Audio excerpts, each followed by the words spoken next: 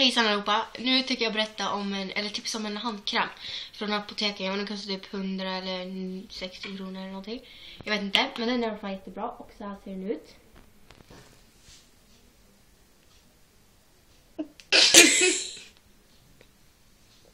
ja, så ser den ut och den heter Handcream Nice and Stays.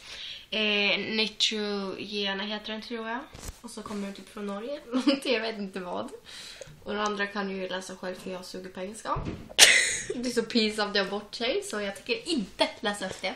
Och den ser ut typ så här. Nu ska vi visa. Mm. liksom, vad gör du? Så här ser, ja, så här ser den ut.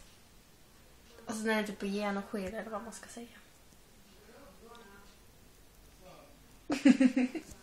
Ja, så ser ut och det är jättebra. Man, kan typ, man behöver inte ta för mycket för man blir typ inoljad.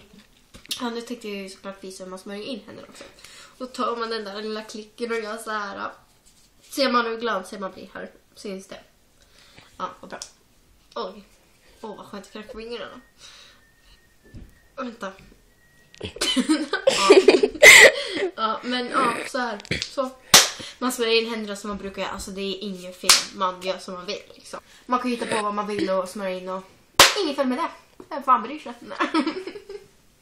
ja, men så här ser det ut så ni måste fan åka och köpa den. Om ni är alltså liksom så här typ drogade i handkrämen som jag är. ja, mm.